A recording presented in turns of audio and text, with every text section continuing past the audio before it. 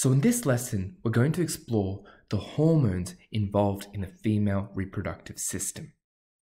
This is a very high yield point for HSC biology as it's often difficult to understand for students and hence it's easy to distinguish lower and higher band students in exams. Now, before we even talk about hormones, let's talk about what they are. Hormones are simply chemical messengers that travel in the body. They travel in the bloodstream, and there are three different types. You have hormones that are derived from steroids. So these are your lipid derivative hormones. You have your long polypeptide chain hormones, which consist of a long chain of individual amino acids. You also have hormones that are only one amino acid in size all hormones will bind to some receptor and cause some action. Hence, they're called chemical messengers.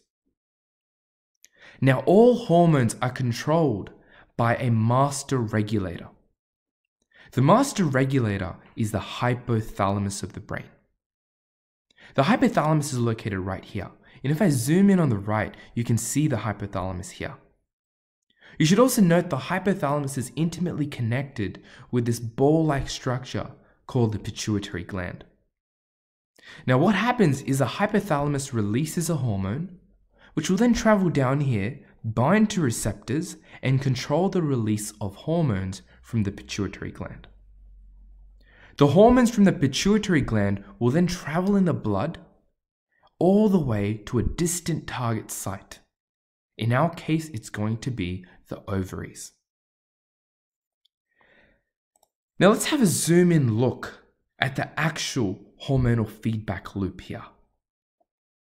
So as I said, it all starts with the release of a master control hormone by the hypothalamus. In the case of pregnancy, the hormone is gonadotropin releasing hormone. So after the onset of puberty, all females and males release this hormone from their hypothalamus.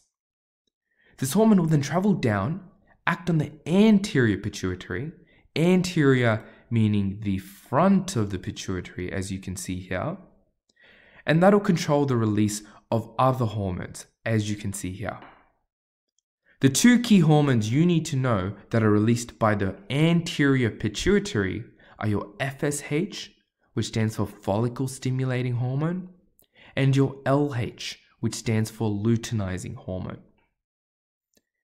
FSH is involved in the maturation of follicles in the ovary. So, as you can see, this tiny primordial follicle growing into a mature follicle that is catalyzed by the action of follicle stimulating hormone.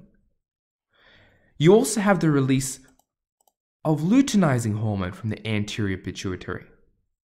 Now, it's very hard to know this. The luteinizing hormone at day 14 is what causes the release of the ova.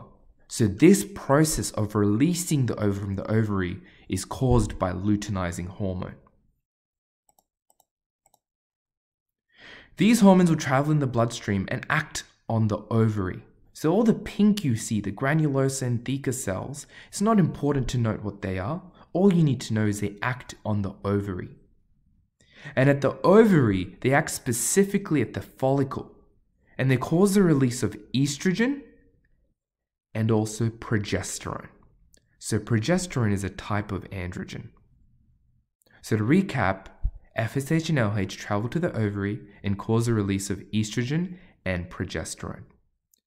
Now, it's very commonly asked what estrogen and progesterone do. So, you must know estrogen stimulates the growth of the uterine lining. The uterine lining is also commonly known as the endometrium. Progesterone is important for maintaining the uterine lining, and that prevents muscle contractions as well.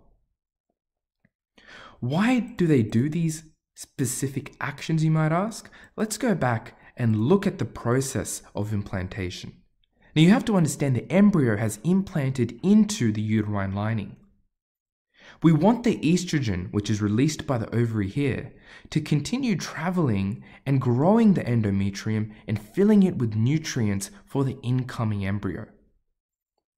We also want progesterone to maintain this lining and prevent it from shedding, as the embryo has already implanted.